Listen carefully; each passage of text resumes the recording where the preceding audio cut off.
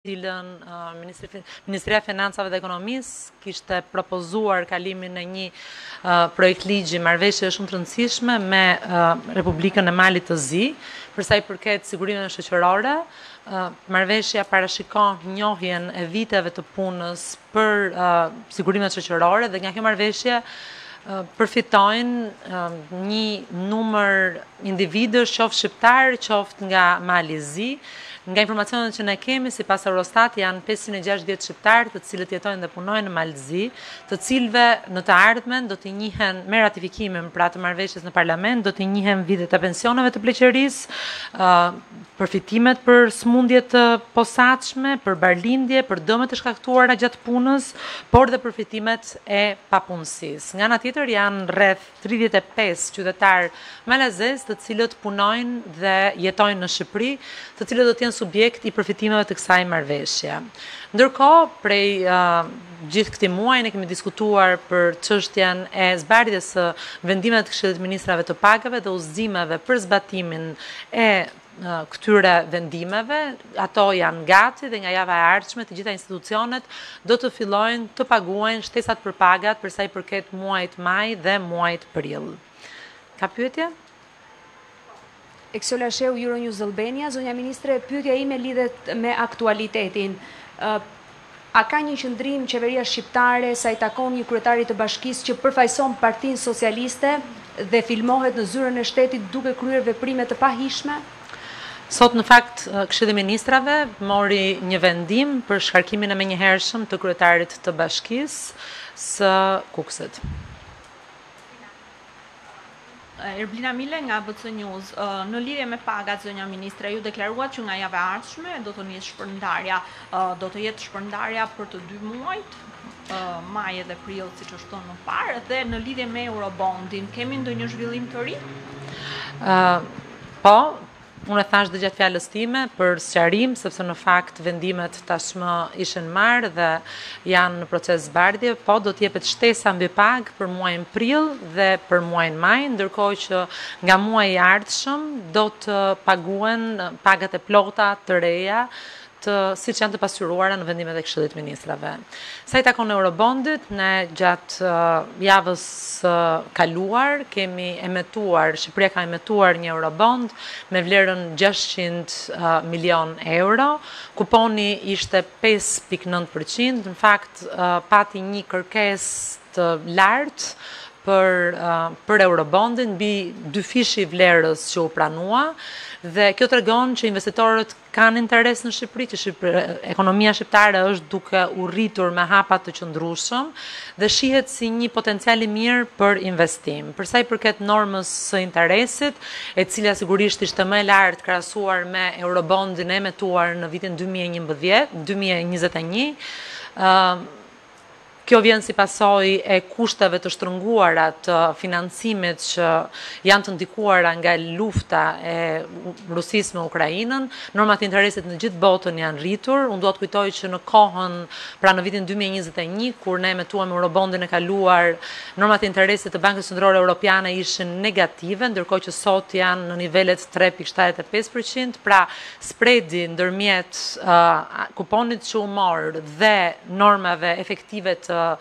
Bankës Qendrore Europiane është më i ulët se ai që ishte në të kaluarën. Faleminderit. Përshëndetje, Qeveria sot ka miratuar projektligjin për kontrollin e kultivimit dhe përpunimit të bimës së kanabisit dhe prodhimit të nënprodukteve të saj, për qëllime mjekësore dhe industriale, nga Këshillimi Kombëtar, ku edhe gjashtëdhjetë e një për qind e qytetarëve u përgjigj pozitivisht kësaj pyetje për inicimin e kësaj nisme, ka filluar puna nga disa ministri. Ky projektligj është depozituar nga Ministria e Shëndetësisë dhe Mbrojtjes Sociale, Ministria e Bujqësisë dhe Zhvillimit Rural dhe Ministria e Brendshme.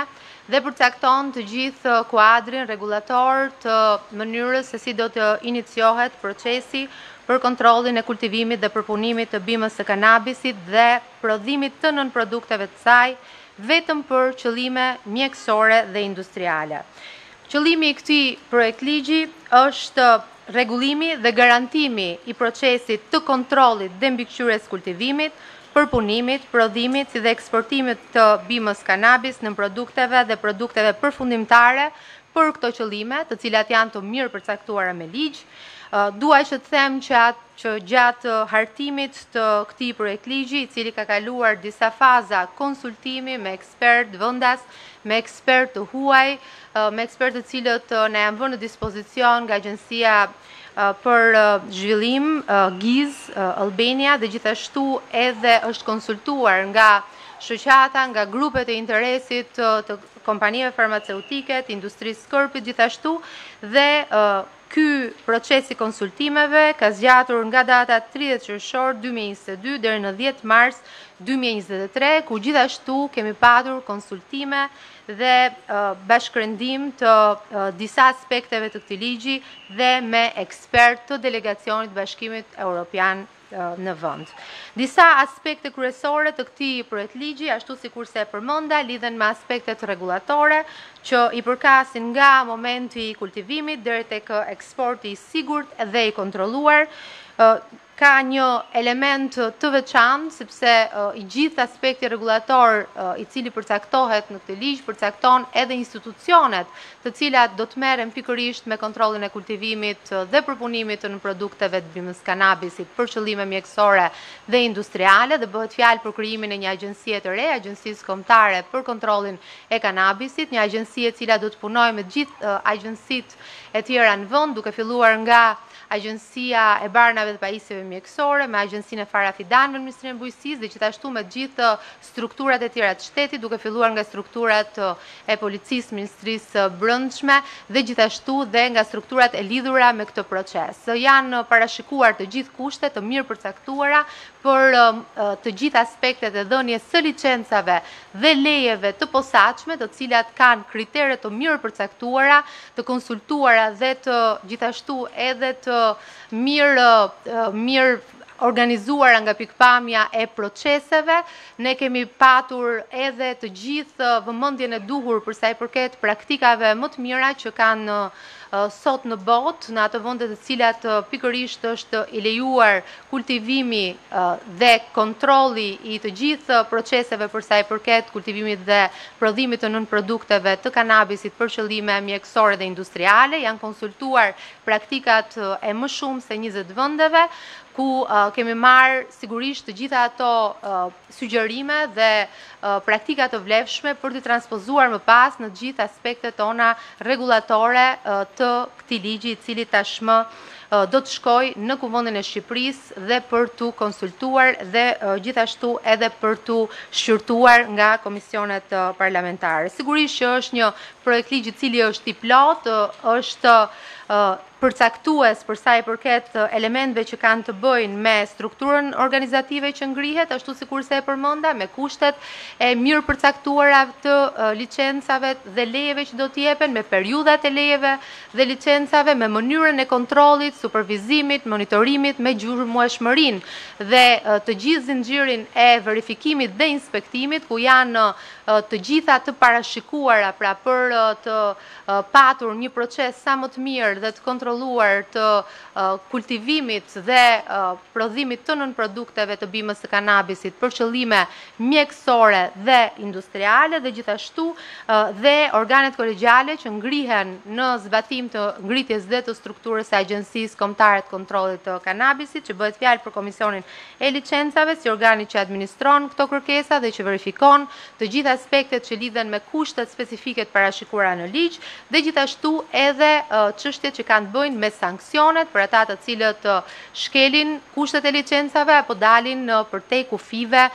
ligjorë pra të paracaktuara në këtë kuadër legjislativ. Nga ana tjetër, një pikë shumë e rëndësishme që parashikon ky ligj është edhe ngritja e regjistrit të posaçëm të subjekteve të licensuara dhe të lejuara dhe lejeve gjithashtu, i cili do të jetë një regjistër i aksesueshëm nga gjithë strukturat përkatëse të shtetit, duke e bërë këtë proces pra të kontrolluar, të monitoruar nga shteti me kushte, kritere specifike dhe bazuar gjithashtu dhe në sugjerimet më të mira të partnerëve tanë. Faleminderit. Përshëndetje të gjithëve. Bujqësia sot ka miratuar një akt të rëndësishëm që ka të bëjë me strategjinë kombëtare të sigurisë ushqimore. Është hera e parë që ne kemi ndërtuar një politikë të tillë dhe një dokument të tillë, i cili është tërësisht i përafruar me Bashkimin Europian, me acquis. E konsiderojmë këtë dokument tejet të rëndësishëm për kuadrin e zhvillimeve të një kantieri shumë të rëndësishëm të Ministrisë së Bujqësisë, që ka të bëjë me prioritetin themelor, sigurinë ushqimore. Pra, përsa i takon të gjithë kuadrit kohor nga 2023 deri në vitin 2027, ne këtë vit fillojmë procesin screening me Bashkimin Europian dhe Duke qenë se Shqipëria gjithnjë e më shumë po forcohet në aspektin e ekonomisë bujqësore dhe është një vend i cili tashmë synon tregjet gjithnjë e më të sofistikuara europiane për të gjitha produktet bujqësore, qofshin ato të origjinës që vijnë nga bimët apo të kafshëve, është shumë e rëndësishme që ne të ruajmë dhe të krijojmë një kuadër dhe një kornizë të mirëmenduar të orientimit të politikave të sigurisë ushqimore në vend. Dhe në këtë kuptim,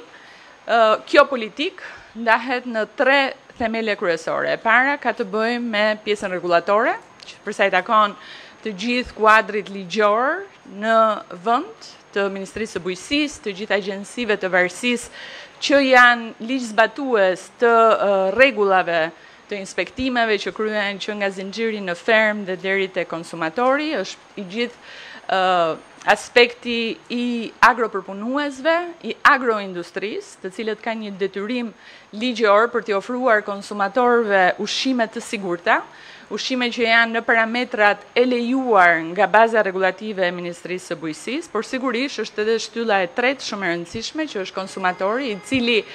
përmes vetëdijes së vet, apo edhe përmes organizimit në shoqata të konsumatorëve, krijon një sensibilitet të lartë për sa i takon evidentimit të problematikave që mund të gjenden në tregje, apo për alerte të ndryshme në mënyrë që i gjithë zinxhiri i këtyre tre shtyllave të funksionojë më së miri. Është një politikë e ndërtuar në përputhje, siç thashë, me direktivat e Bashkimit Europian, e ndërtuar me mbështetjen e projektit që ne kemi me Bashkimin Europian, me autoritetin irlandez, por gjithashtu vjen si një kornizë që kontrollon sigurinë ushqimore nga ferma deri në tryezë, pra nga sera, nga ferma bujqësore, nga organizimi mjaft i mirë i produkteve fitosanitare, i produkteve veterinare, i mirëqenies së kafshve dhe i mbrojtjes tërësore të konsumatorit, çka është dhe prioriteti ynë numër një. Ministre, prej disa ditësh moti i keq ka përfshirë Shqipërinë me rrebeshe të cilat kanë dëmtuar prodhimin bujqësor në vend. Keni informacion mbi situatën dhe çfarë masash do të marrë ministria në lidhje me këtë? Atëherë Ministria e Bujqësisë është në koherencë të plotë me gjithçka ndodh për efektet klimatike. Sigurisht që ka gjëra që mund të bëjmë, ka gjëra që nuk mund të bëjmë për të parandaluar apo për të